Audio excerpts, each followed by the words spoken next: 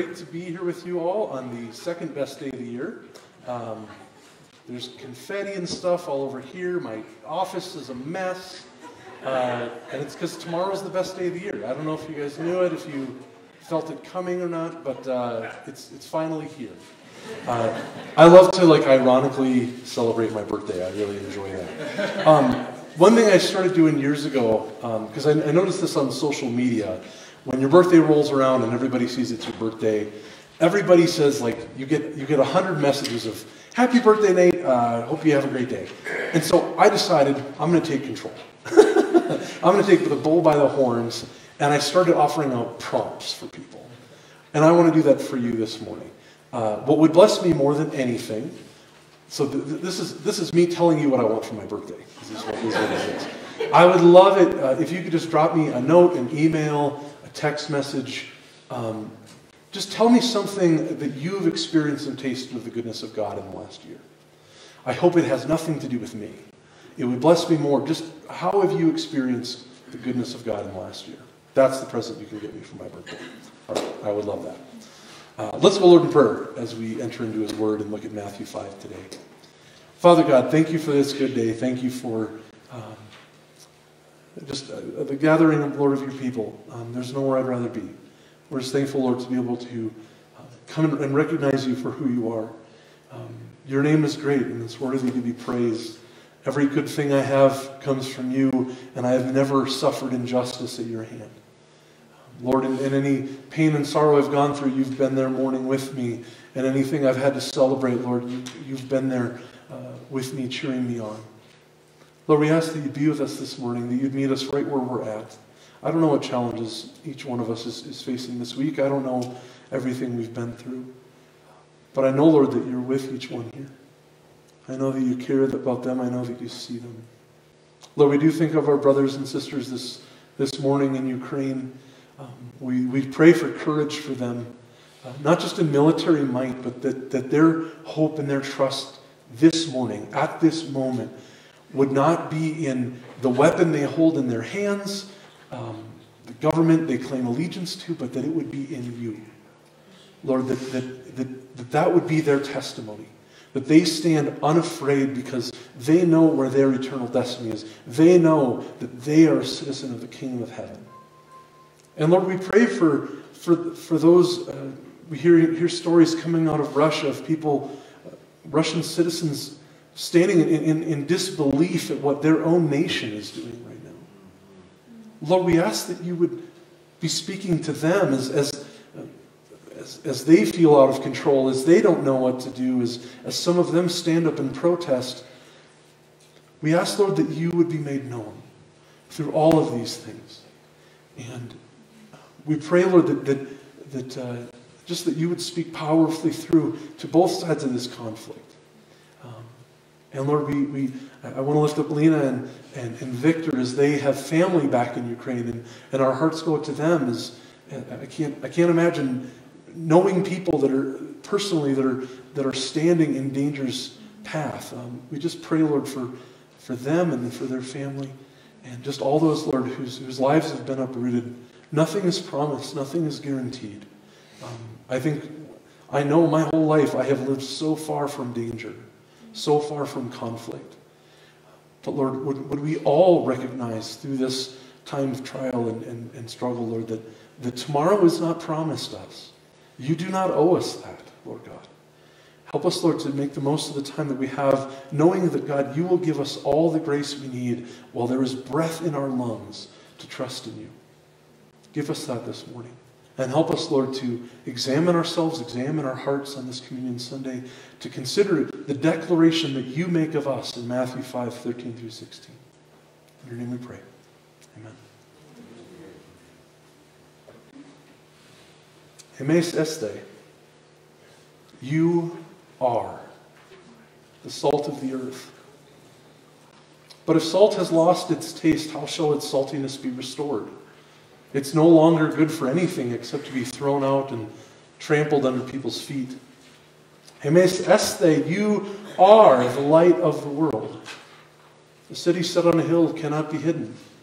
Nor do people light a lamp and put it under a basket but on a stand, and it gives light to all in the house. In the same way, let your light shine before others so that they may see your good works and give glory to your Father who is in heaven. Last week we discussed the Beatitudes that Jesus proclaims at the beginning of his first public address, the Sermon on the Mount, a sort of preamble to the rest of his message. Today we're going to look at the next proclamation from Jesus, describing what his people are and what he expects us to be. This passage concerns salt and light, and it's about identity. A quick note uh, before we get into some more of that. Something quite unique here in this declaration of Jesus. Um, so many passages throughout the New Testament are about how we as followers of Christ are being transformed, we're being sanctified. Um, tell us that we're in process, right? God declares us righteous, Romans 5 1, and we spend the rest of our lives uh, allowing the Spirit of God to work on us, convicting us of our sin, and indeed removing that sin from us, that we might look more and more each day like Christ our Redeemer. So many passages speak to this process. Philippians 1 6. For I'm confident of this very thing that he who began a good work in you will perfect it until the day of Christ. Philippians 3 10 and 12. I want to know Christ, yes, to know the power of his resurrection and participation in his sufferings becoming like him in his death, and so somehow attaining to the resurrection from the dead. Not that I've already obtained this or have already arrived at my goal, but I press on to take hold of that for which Christ has taken hold of me. James 1 4, let endurance have its perfect result, so that you may be perfect and complete, lacking in nothing. But what Jesus says here in Matthew 5, on the side of a mountain to his disciples, is not about process. We see no mention of process here. He does not say, one day I hope you will aspire to finally be the salt of the earth. I hope one day you will finally look the way I want you to look. One day, with my help, you could potentially, if you try hard enough, be the light of the world. That isn't the language used here. Haimes este. You are the salt of the earth, the light of the world. What do you think of that? What do you think of that today? Are you comfortable with the thought of Jesus declaring that of you? A few weeks ago, I, probably longer than that now, I, I did a little skit thing with the kids where I, I uh, told them about how I, I, worked for Pepsi for seven years uh, back in the day. And uh, anytime somebody saw me, they didn't just see Nate Roschen anymore. They saw the brand that I was representing. They saw Pepsi. I was a Pepsi man to them. And so then I, I pulled out a can of Coca Cola and I opened it in front of the kids, which horrifies them, which is exactly what you want to see. Uh, that, is, that is what we are doing when we say that we are a Christian. You are a representation of what you are, what you are wearing, what you are claiming, that Bible you carry. You know, I, I, was Pepsi in the eyes of all who saw me wearing that uniform, and I am a little Christ, a Christian, as I live in this world. As a follower of Jesus, the question is not, am I the salt of the earth? Am I the light of the world? The question is, am I a good representation or not? Am I hiding my light or not? I can never forget my theology professor would always say, we are all theologians. We all have thoughts about God. That isn't the question. The question is are we going to be a good theologian or a bad theologian? So, in the same way, that the question is not if I'm a follower of Christ, the question is not am I salt, am I light? It's am I being a good representation as the salt or as the light? Jesus would later declare himself to be the light of the world. And he did so at an interesting time that's a little beyond the scope of what we have time for today. In John 8, chapter, chapter 8, verse 12, it says, When Jesus spoke again to the people, he said, I am the light of the world. Whoever follows me will never walk in darkness, but will have the light of life. Do you know when he said that? Right after that encounter with that woman caught red handed in adultery. Immediately after he frees her and redeems her and says, Go and sin no more, Jesus says, I am the light in the world of the world. So, whatever we talk about today, in the rest of our conversation surrounding salt and light, about being followers of Christ, know this. It ought to bring hope. It ought to bring hope. Let's talk first about salt. Some of you probably know more about salt in the, in the Roman world than I do, but to catch up the rest of us, uh, salt was very valuable um, because it had so many, uh, so very many uses. It was, of course, used as a preservative at a time when there was no refrigeration. Uh, you could rub salt into meat and other, and other food products, and it would be preserved.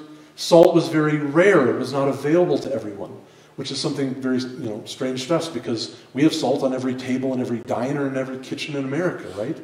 But to Christ's audience, it was very, very valuable. The city of Jericho was established uh, 10,000 years ago as a, as, as a salt trading center. And a lot of trade routes began where salt was and ended where salt was needed. Roman soldiers and sailors were often paid their salary in salt. We get our, our term uh, for salary from the Latin word sal, meaning salt. You've heard that phrase, not worth his salt. Well, that was coined because salt was used uh, as barter for slaves. If a man was lazy, was not, you would say he's not worth his salt. He's not worth what I paid for him. Or take it with a grain of salt. You've heard that expression. That came from the belief that, that salt in any amount was, you know, even one tiny grain of salt was an antidote for many poisons. So if you were going to consume a food and you weren't sure if it was safe, you'd take a little salt with it uh, and then not worry about it. Salt was also, as we all know, valuable as a flavor enhancer. But it's also important to the human diet. It was used as a fertilizer. There were so many uses for salt in the ancient world. And so uh, we, can, we, can, we can, I think we can assume that Jesus is not necessarily pointing to any specific application of salt, but is speaking here of a broad, inclusive sense to say that salt was essential, it was vital for everyday life. Pliny, the Roman author and philosopher, uh, lived in the first century AD, and, and so he's a good source for us to see what was important in that time. And he declared of salt, there is nothing more useful than salt and sunshine. So Jesus is saying in part here, when, he's, when he declares you to be the salt of the earth, he's saying in part, you are valuable. You are valuable. You are an essential part of what Jesus is doing on this earth. Well, valuable for what? If salt is a preservative, then what exactly is it that we are to preserve? I've heard it said that in the Evangelical Church of America, there's a battle currently taking place. And it's over what Jesus meant when he said that we are the salt of the earth. Did he mean that we are to preserve our comfort, our security, our way of life? Or did he mean to tell us that, like salt affects everything that it touches? That we are to be loving and kind, that we are to make people think about God when they interact with us, that we flavor our world with the name and the hope of Christ. You are the salt of the earth. You are valuable to God not because of some strange or special, special ability that you possess, but because we experience a transformation in our lives when we come into contact with the kingdom of heaven. Your presence as a son or daughter of God is necessary as God's means of influencing the world for good for Him. I'm struck, uh, I didn't even think to mention this, which is funny to me. Um, verse 16. At the end of, at the end of 16, uh, it says, In the same way, let your light shine before others, that they may see your good works and give glory to your Father who's in heaven. I want to mention this before I forget. Um, I've been in St. Paul Cathedral in St. Paul, Minnesota. You've probably never been there before. It's, I love a big, glorious church. I love going into a space where my eyes go up, where I, and, and, and it's just glorious, and it's something of heaven is there, just the, the sense of scale. There's columns there, almost as big as this building. It's just massive. At the back of, the, of St. Paul Cathedral, on the back left, if you ever get a chance to visit, is Matthew chapter 5, verse 16. But they put the period, I, I, never took a picture of it, and I wish I would have, because I'd love to put it up on the screen for you. They put the period in a funny spot in the Catholic Church. It says, in the, in the same way, let your light shine before others, so that they may see your good works Period. Period. We know the rest of the verse that, that, you, that it may glorify your Father who's in heaven. What are we trying to preserve? What are we trying to shine light on? What are we here for? To make ourselves look good? Or so that others see God when, when they're in our presence? That we point others to Him?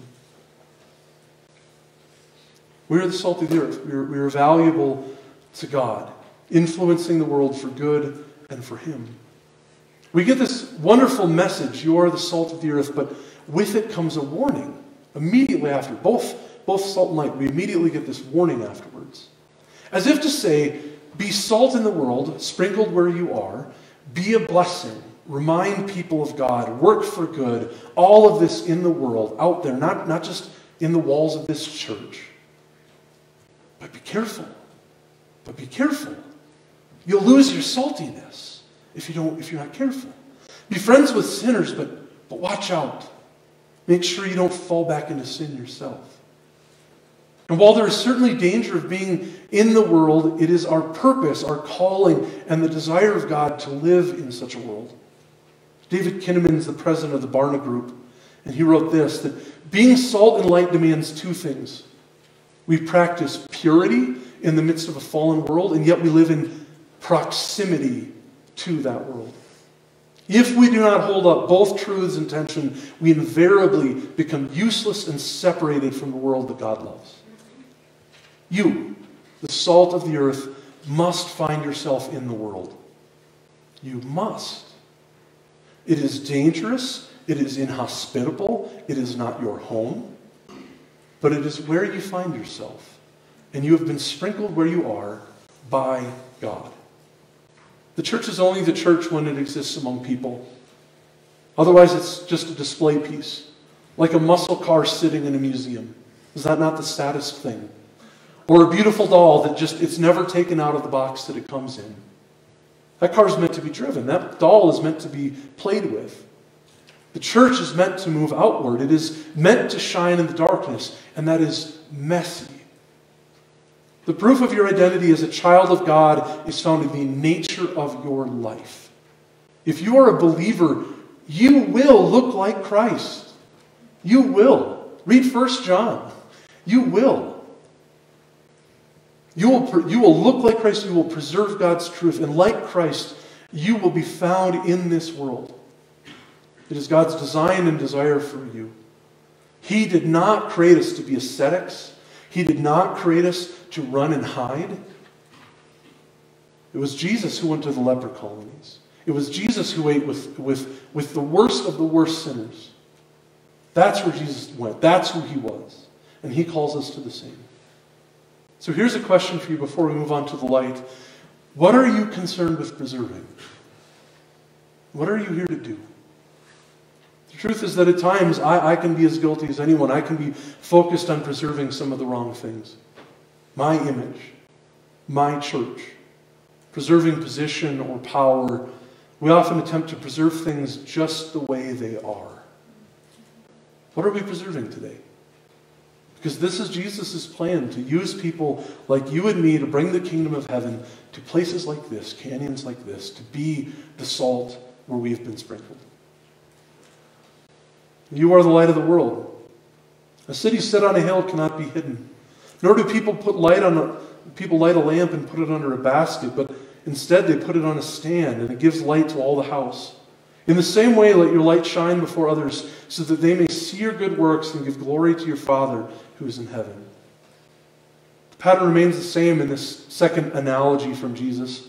Christ declares you, specifically, emphatically, you are the light of the world. He then immediately warns of the dangers of not living as the light. He immediately speaks to putting it under a basket. Why does he do this? Why does Jesus warn us about things like this? Maybe he knows our weaknesses. Specific to the Lord of light, to the light of the Lord. In John 3, verses 19 through 21, it says, This is the verdict. Light has come into the world, but people love darkness instead of light because their deeds are evil. Everyone, everyone who does evil hates the light and will not come into the light, for fear that their deeds will be exposed. But whoever lives by the truth that comes into the light, so that it may be plainly seen that what they have done has been done in the sight of God. Everyone who does evil hates the light. I've got some bad news for you, church. It's also the best news. Light reveals. Light reveals. That's what light does. It's helpful when you're working on a car engine, or in my case, when I'm watching my father in law work on my car engine.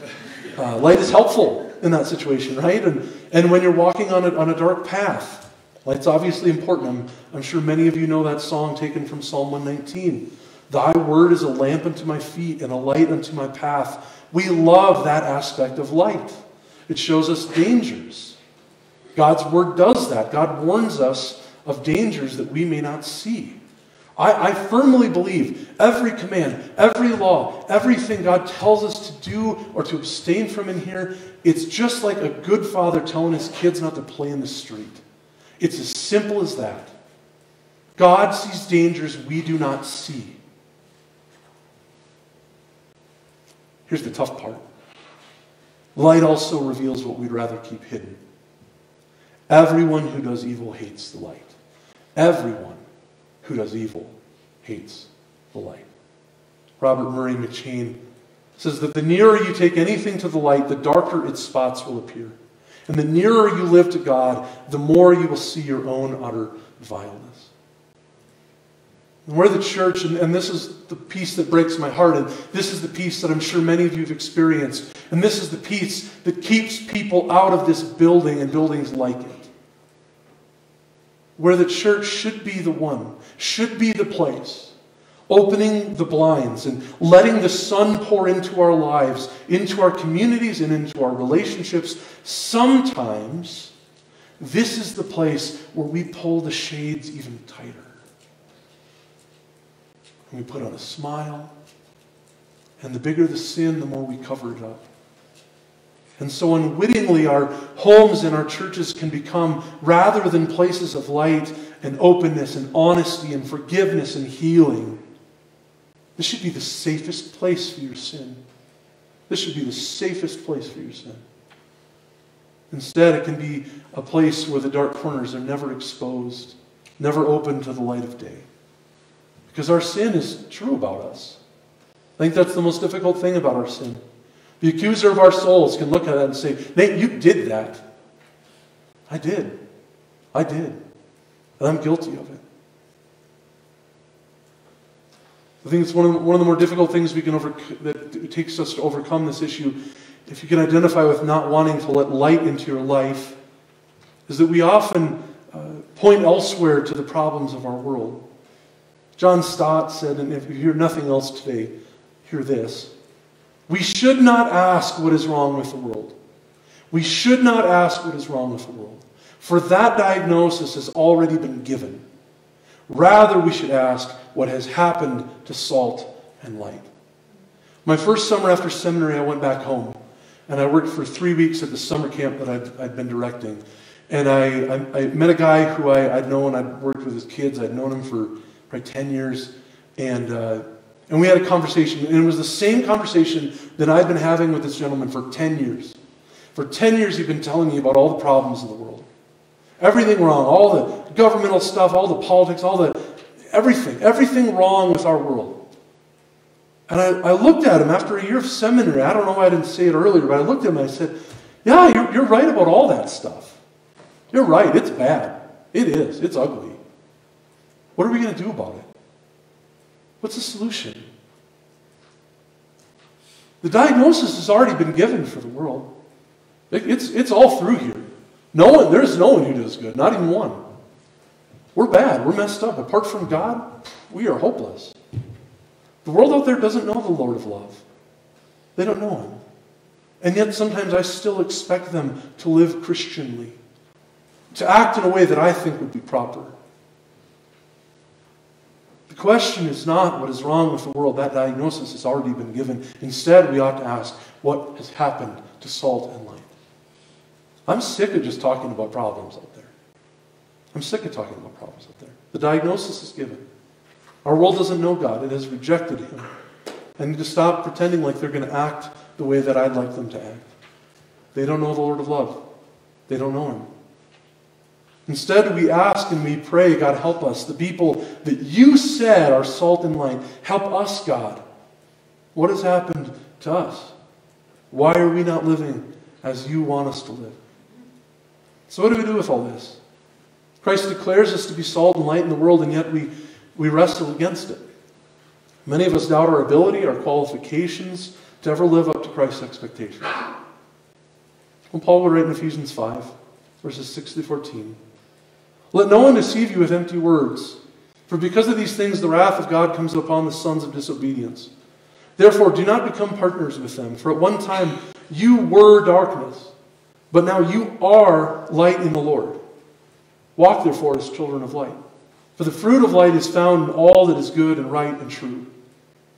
And try to discern what is pleasing to the Lord. Take no part in the unfruitful works of darkness, but instead expose them. That's what light does. For it's shameful even to speak of the things that they do in secret.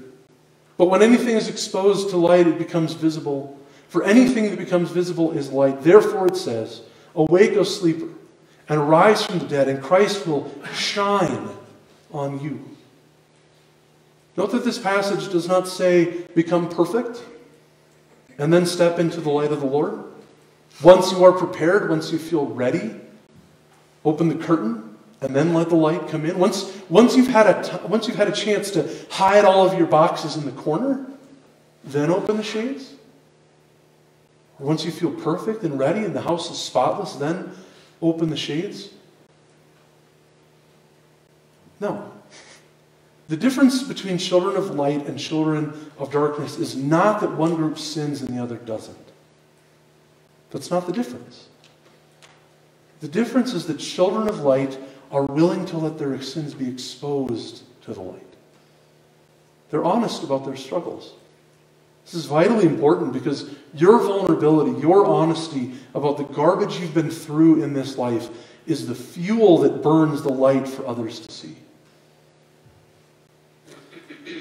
We ought to live a life of, of where, where our witness, our testimony is come and let me show you what God has done for me. Growing up, I saw my father's anger time and time again.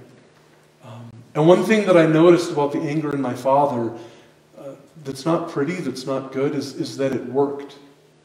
Anger works. It does, it gets what it wants. And so I, I saw this anger grow in me. I saw it develop. I, I nourished it. I was, and I saw it work for me. I got what I wanted as a young man. I also saw God come into my life at the age of 17, and I saw almost like a claw machine, God just kind of come down and pluck that anger out of my life. I'm happy to tell you about it because I didn't get rid of it. I can promise you that. Anger worked for me. I just saw God do something, and, and that is the light that people need to see. Come and let me show you what God has done for me. While it's often unhelpful to express to others how amazing we are, it's incredibly helpful for others to see how God has amazingly saved us. Being salt and light requires honesty and openness, vulnerability. The light must come into our life, even if we ever hope to shine in this world.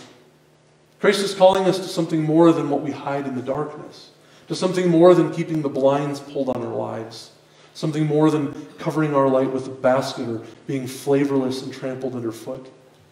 He believes that you are the salt and light of the world. The battle is for us to believe it too to trust Him enough to live in the light, to be children of that light. Let's close in prayer as we prepare for communion. Father God, thank you. What you, what you speak of us, what you declare us to be, is something I, I, I don't know a person alive that feels qualified for. But the point, Lord God, is that we might be people that, that, when, that when others see us, others that that at, at this moment may not believe in you, may not like you, may, may, may have been hurt or burned by Christianity. We ask, Lord, that, that, That when other people see us, we would be willing to share with them what you have done for us. That we would tell them, Lord, of, of the sin that you've plucked out of our lives, of the things that you've done, how you've softened our hearts, how you've made us more compassionate, how we have been forgiven by you, and so now we are convicted, we are compelled to be more forgiving. Let our life, like, there, there are so many things in life right now that can be argued. It is difficult to argue with a good testimony. Help us not to be afraid to share ours, to tell the world of what you've done. We ask so that you would help us now as we prepare for communion, that this might be a place and a space where honest things can be said, where we can, we can openly admit to the things that the accuser of our souls is, is telling us about ourselves. We are angry that we are broken, that we have done things we regret, but Lord, we can leave them here. Help us, Lord, to be able to do that openly and honestly, to confess these things to you as we before we partake in communion together. In your name we pray. Amen.